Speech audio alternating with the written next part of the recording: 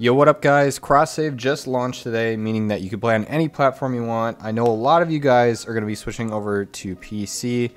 Um, so for those who are switching to PC and are looking for some recommendations, this is the video for you. I get asked a lot, what are my settings, that type of stuff. So I'm just going to go over that as well as like a few tips uh, in terms of getting your, your stuff set up and like optimal keybinds, stuff like that. Let's get into it. So first things first, your mouse sensitivity and your controls. This is going to be based on you, whether you like to play low DPI or high DPI. Uh, personally, I have quite a bit of mouse space to work with, so I tend to play low DPI, and I would highly recommend it. Uh, for those who don't know what DPI is, it uh, determines how fast your mouse can move across your screen. Like, it's basically just basic sensitivity for your computer. I play on a 400 DPI.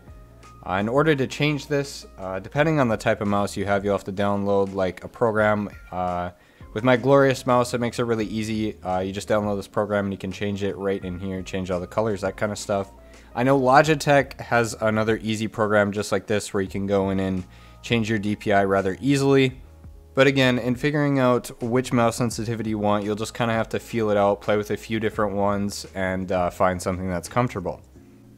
So moving over to keybinds, there are a couple things I'd like to point out as I'm scrolling through here. First of which is that there are no correct keybinds. There are little tips and tricks that will highly, highly help you uh, when you are making your keybinds. First of which is making sure that all of your keybinds are close together so you're not reaching your hands across the keyboard to try and interact or throw a grenade or something. So as you'll see here, I do have interact bound to my mouse. This is because uh, you're able to still shoot and aim and move around and do all your other normal tasks with your left hand while being able to uh, while being able to interact and shoot. This is a very good skill to have, especially uh, in PvP like Trials of Osiris. Uh, being able to get a res and shoot and like strafe and crouch and all that good stuff is uh, is definitely a nice thing to have. Next thing is uh, switching weapons with numbers rather than mouse wheel. This will help your brain uh, in terms of just being able to focus on aiming and shooting with your mouse instead of doing a million other, other different things with it. But yeah, the keybinds you'll just have to feel out for yourself. Uh, if you want to take a few things from my keybinds, test them out, see if they're comfortable for your hands, uh, feel free to do so. Uh, it's going to depend on your hand size, hand type, if you got short fingers. Just feel out whatever's comfortable for you. Um, I'm sure you'll switch it around quite a bit. I actually just changed my keybinds recently and I'm still kind of getting used to it again. But I really, really like where my keybinds are at right now. Moving on to video settings, you're going to want to put basically uh, in this first section, you want to put everything on max. Full screen, uh, full screen mode is what I like to play on. 1080p as long as your monitor can support it, monitor slash computer. Uh, I would leave the frame rate cap off if your computer can support it. Again, uh, max field of view is a great thing to have. It makes the game feel a lot more smooth in my opinion. Your screen bounds are going to be based on your monitor again. Brightness, I personally like to play on 7. That way I'm able to see absolutely everything that I can. So moving on to advanced video, I have custom settings on. Uh, you can set it uh, based on how your PC performs, so it'll do like default settings uh, for each zone there. But I like to do custom.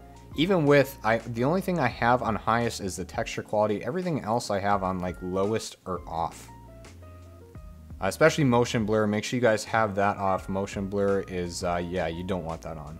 I'm not really sure what wind impulse is, but I have that on too. Uh, render resolution, if you can have that at 100, if your PC supports it, highly, highly do so.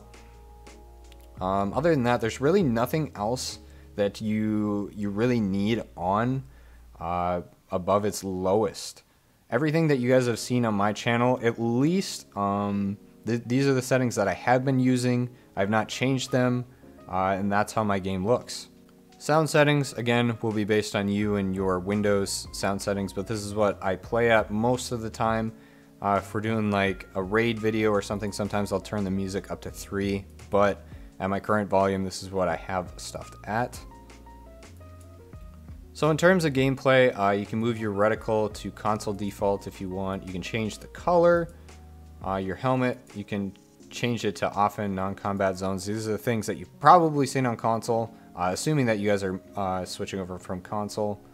Um, you can turn notifications off, never show full battle tags, FPS display. as you'll see up here, I have that on. It's just nice to see if you're like losing frames or something like that. But again, these will all be based on you. You can just kind of mess around with these settings and feel those out. So the last thing I want to talk to you guys about is for those who are able to get up to 144 frames and have a 144 hertz monitor, um, just to be able to check and make sure that your refresh rate is running correctly on your on your monitor. You're going to want to right click on your desktop, go to display settings. You're going to want to scroll down to advanced display settings. Display adapter properties for display 1 and then go over to monitor and then it should say your screen refresh rate. You want to make sure this is on the max that it can be. So again, if you're running a run 144 hertz monitor, or maybe you're running a 240 hertz monitor, just make sure that is on correctly. Hit apply, then click OK, and you should be good to go. Uh, I know quite a few people that have had a lower refresh rate than their monitor supports on for a while and did not know that. Um, it's it's a common thing that happens. It's happened to me too. Uh, especially if nobody tells you or if you don't have like a PC savvy friend that tells you to switch it. Um, you might you might be playing on 60 hertz while uh, you think you're playing on 144 and you'll definitely definitely see the difference when you're playing so make sure you have that switched over. That's really about it for today. I hope you guys enjoyed uh, the tips and tricks. If you do have any issues uh, please leave them down in the comments. I'll try and help you guys out as much as i possibly can other than that, hope you enjoy your PC experience, boys. Uh, again, thank you so much for watching, and hopefully we'll catch you in the next one. Peace.